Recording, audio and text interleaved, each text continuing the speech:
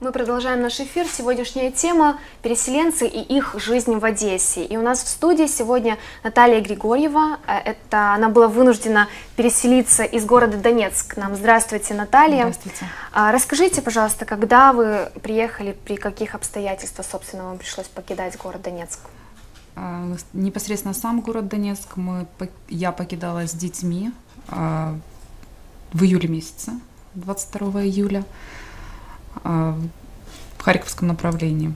Угу. А уже в Одессу мы переехали, к нам присоединился наш папа, и мы переехали в октябре месяце по приглашению наших друзей, которые, знаете, как лакмусовая бумажка. Вот э, война, она проявила все отношения, и настоящие отношения, которые сложились уже несколько лет назад, они себя тоже проявили. Это мои любимые, мои родные, семья Червяковых. Вот они первые, которые сказали, мне очень трепетно я к ним отношусь, которые сказали, так, быстро детей в зубы и бегом в Одессу. Угу. Вот, приняли, поддержали. Тут еще есть у меня близкие, родные, которые, в принципе, ну, оказали очень большую э, поддержку, э, самое главное, моральную. Потому что очень хочется, знаете, развеять стереотипы того, что все переселенцы из Донецка и Луганска э, какие-то депрессивные, негативные. Нет, это не так. Не все. Угу. И приехав э, в разные города, э, нормальные, вменяемые люди, они адаптируются, как бы тяжело не было, ну, тем не менее, подстраиваясь под те или иные жизненные условия, стараются стараются жить дальше. Скажите, вот вы затронули эту достаточно такую тему стереотипов э, о людях да. с Донбасса. Скажите, вы с этим сталкивались, с таким вот стереотипным отношением? Э, скорее, скорее не на личном опыте, а вот э, по словам людей, просто по роду моей деятельности здесь еще, ну, это тянется уже много лет, и волонтерство, в принципе, занимает достаточно большую часть моей жизни. Здесь ничего не поменялось, только город, только сфера, только другая категория лиц. И эти лица вынужденные переселенцы. И вот мы на базе многих э, благотворительных фондов и волонтерских движений, вот у вас здесь рядышком, Катя Нажевникова, да, вот э, встречаясь с людьми, как-то пытаясь им помочь, поделившись собственным опытом, э, наверное, более сильными какими-то. Вот мы уехали ведь когда еще не было такой э, сильнейшей вот, да, вот атаки, и, ну, что греха таить, мы, мы не испытали того, что испытали люди, которые остались после нас. Поэтому вот от них э, я скажу больше. Я слышала ну, вот этих вот, скажем, притеснений э, и адаптации в социуме. Э, сама не могу сказать, что вот я и моя семья столкнулись вот остро с этой проблемой. Э, мое мнение такое, что если нужно работать, а работать нужно, угу. то меньше обращаешь на эти стереотипы внимания. Ну, где-то нет. И что? А приходишь домой, а там дети. Их нужно кормить. Поэтому идешь в другое место, где да. Угу. Вот, ну, как-то так. Скажите, почему вы приняли для себя решение покинуть Донецк? А, ну, во-первых, абсолютное неприятие того, что там происходит, это даже не обсуждается. И плюс ко всему э, мы попали под бомбежку, после чего я с двумя детками пришла и сказала своей свекрови, мама, мы уезжаем. Угу. Вы забрали всю семью свою с Донецка? Да. да. Угу. А скажите, все-таки в Донецке у вас э, был какой-то круг общения, Конечно. и на самом деле эти события, они тоже внесли какие-то свои коррективы. Можете рассказать? Да, об конечно. Этом? Круг общения э, в моей голове вот, на сегодняшний день четко, знаете, вот структурировано э, та категория людей, которые там остались. Э, в первую очередь люди, которые были хорошими людьми, они и остались. А те, где вот была какая-то червоточинка, она вот сейчас, знаете, вот, ну, действительно, как лакмусовая бумажка, как кристалл какой-то, они открылись и показали себя с той стороны, с которой должны были показать. Поэтому я была в Донецке около месяца назад. Произвело на меня это неизгладимое впечатление. Первые сутки, когда э, не было обстрела, свой дом, дом благо цел, все свое, да, была эйфория. Ах, не махнуть ли и не приехать во все свое родное. Ну, ровным счетом до начала обстрела и до выхода во двор, когда слышишь то, чего не хочешь слышать, а люди, которые окружают, не все, но предательство друзей. Повесили на меня ярлык, очень интересный термин, из разряда моих друзей, так вот, беглая жида укропка, я говорю, запатентую. Обязательно запатентую. Ну вот, ну, как-то так. Э, стараюсь просто не думать об этом, потому что понимаю, что я и моя семья, мы понимаем, что дороги назад нет. Это уже второе проявление агрессии войны в нашей семье, потому что у меня мама проживает в Славянске, и я никогда в жизни не думала. Кстати, моя мама сегодня день рождения. Мамуля, ну, с днем рождения. Поздравляем вашу да. маму. А вот, э, я никогда не думала, что эта беда придет к нам в Донецк. У нас очень был богатый, преуспевающий город. И э, исходя из логики, я никогда не верила, что богатые люди, которые имели свои интересы, бизнес, ну, просто пустят это. Но сожалению, мы не вправе. Вы были среди одними из первых, скажем так, в первой волне переселенцев. Тогда еще да. вообще почти ничего не было налажено. Э, и волонтерские службы не были настолько развиты. И, в принципе, со стороны государства только все начинало формироваться. Скажите, вот с чем вы столкнулись, когда вы приехали в Харьков? Э, это, э, ну, во-первых, я приехала в Харьковскую область к своей тетушке. И, угу. ну, это второй дом. То есть, ну, это моя семья, просто территориально удаленная. Э, от Донецка. Я сама родилась в Изюме, поэтому ну, там все родное. Я с двумя малявочками вот приехала. Ну, то есть никакого диссонанса не было. У меня не было нужды обращаться в волонтерские центры. И ну, чё, четко вам скажу, что вот, ну, не верилось, что вообще когда-либо появится такая нужда и необходимость. Ну, ну вот все, вот все, сейчас это все заканчивается, все, собираем детка, возвращаемся. Ну, То есть вы уезжали э, с такими мыслями, что это ненадолго, это временно, и вы сможете вернуться. Угу.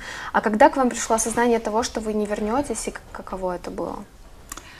А, когда мой супруг, э, он на момент, он вообще не застал боевых действий, он э, был за границей, э, и когда он приехал, и его визит первый в Донецк ну, с целью уволиться с предприятия, то, которое продолжало работать, но предприятие приняло сторону, которая сейчас там имеет место быть. А вот, и вот он поехал, плюс э, его мнение, мнение с, со стороны моих знакомых, друзей. Ну, мы же общаемся все, угу. мы же видим, что там происходит. И э, плюс, наверное, погибшие люди – а, в нашем кругу на сегодняшний день погибло уже 11 человек. Четверо дети до 5 лет. А, мы не вправе рисковать своими детьми. Поэтому самое ценное – малявки, кот и все. А вот вы недавно были в Донецке. Все-таки там продолжают да. жить люди под обстрелами. Да. Они привыкают жить. к этому? Вы понимаете, я не вправе их судить, но есть люди, э, которые ну, немного слабее духом. Э, я не говорю о тех, мы сейчас не будем обсуждать ту категорию людей, которые поверили вновь пришедшим и поддерживают именно эту идеологию. А вот люди, которые не нашли себя, приехав в Украину, не получив какой-то поддержки, ну, знаете, вот как говорят, ну, не, ну, не сложилось, не сложилось, закончились какие-то средства, попали не в ту ситуацию – и пришлось вернуться. Я таких семей знаю достаточно много, которые вот из переселенцев даже здесь в Одессе. Но не прижились. Не прижились, пришлось вернуться. Имущество, потому что нет возможности оплачивать наемное жилье, а, нет востребованности именно в этих профессиях, потому что регион э, ни для кого не секрет, он специфический в виду э, именно профессии, потому что это горная промышленность, э, горнодобывающая, угольная промышленность, ну, ну где? Где добывать уголь в Одессе или в Киеве? Ну негде. Ну, поэтому не все нашли себя. И многие вернулись. Кто-то вернулся. У нас э, есть друзья, которые не могут выехать ввиду того, что оба родителя ну, просто парализованы. Они говорят, они не транспортабельны. То есть, если мы принимаем решение а, выехать из Донецка, мы их грузим в карету скорой помощи или там в волонтерскую машину, да, ну, я уже молчу, что творится на блокпостах, что это не так все просто, даже в карете скорой помощи выехать, угу. а, то это все. Это ну, просто гибель родителей. И они сидят. Детей отправили, а сами находятся там. Ну, то есть очень много таких людей, и жаль их. И вот э, мы когда с мужем принимали решение все с нуля, все с чистого листа, выбирали, скажем так, чем заниматься. Э, хочу отметить, э, не, не в рекламной, знаете, вот э, формате, а от чистого сердца ребят из благотворительного фонда «Вера, надежда, любовь». Это ребята, которые дали такой старт, такой толчок и поддержку изначально и в материальной там базе, и продуктовой там люди, я знаю, что обращались. А моей семье э, вера, надежда, любовь дала вот именно веру, надежду и любовь. Мы прошли э, курс обучения э, финансовой грамотности. Кстати, курсы ведутся до сих пор, можно абсолютно бесплатно обращаться без проблем женщины, даже не льготных, не социальных групп, просто любые женщины могут обращаться и проходить курсы. Курсы классные. Эффект колоссальный, честно. И мы прошли обучение а, по факту, а, написали бизнес-план. И от МОМ, Международного отдела миграции, мы защитили бизнес-план и Сейчас находимся в ожидании гранта. Угу. О чем был ваш, ваш бизнес-план? В чем состояла э, идея? Это мечта. Это давнишняя мечта э, экологически чистых продуктов, потому что э, родился малыш у нас, Яков, будучи аллергиком. И грустно было с продуктами питания, потому что, ну, на все буквально. И выбиралась очень так тщательно, чем кормить детеныша. И путем выбора как-то вот совершенно случайно наткнулись на статью, попробовали сделать. Угу. А, вот сейчас это наш бизнес с мужем. Мы занимаемся изготовлением гранолы. Гранолы и все, что с ней связано, вот там сопутствующий продукт, там домашние молочные продукты, джемы, э, вяленые фрукты. В общем, это очень экологично, вкусно и очень легко. Вот на бутерброд я вот сама засекала, тратится от 7 до 10 минут, чтобы нарезать гранола две. Насыпал, залил йогуртом, покушал и, и, и побежал.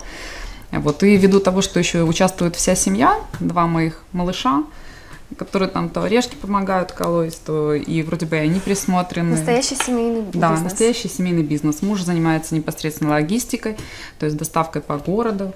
У нас есть функция э, утренней доставки, то есть у нас такой, скажем, завтрак одессита Вот. Хотите? Накормим. Здорово накормим, здорово накормим. Вот. И мы выбрали для себя вот э, диаметрально противоположный тому опыту, который мы имели в Донецке. Потому что надо жить, наконец-то мы занимаемся, э, вот нет худа без добра, э, любимым делом, Спасибо моей семье, которая вот поддержала. Вот это очень многочисленная семья. Опять же, вот я э, повторюсь, это семья моих червяковых, которые там тоже два чудных мальчугана, который, тетя Наташ, мы вас верим. Вот, молодцы. Моя кумася, которая вот она говорит, я в тебя верю. Вот знаете, а, вот хочу поломать навсегда стереотипы о дончанах, о луганчанах, потому что те, кто работали там, угу. они будут работать и здесь. Как они трудились там во благо Донецко-Луганского региона. Потому что я тоже была задействована и на общественных началах, и там, и там, и волонтерская деятельность. Я точно так же и здесь. Только ну, в Одессе я всегда себя чувствовала очень хорошо, как рыба в воде, потому что мы приезжали сюда отдыхать, и мне достаточно было два раза в год подышать одесским воздухом. Может быть, еще, знаете, вот все-таки это семья, которая нас э, окружала всегда. И все. И в Донецк на работу, полны идей, сил и азарта. Вот. А тут очень много таких семей которые хотят работать, которые вот э, благодаря европейским грантам, э, благодаря возможности, вот сейчас заходит новая программа, новый вид Каритас Украина, и опять же таки я приглашаю всех наших переселенцев принять участие, заполнить заявки. Это шанс, угу. потому что там у нас осталось все. Это жизнь с нуля, і якщо ми кажемо про новий відлік, це і є новий відлік. От, Насколько я понимаю, с, с развитием всех этих идей, вы не планируете возвращаться в Донецк?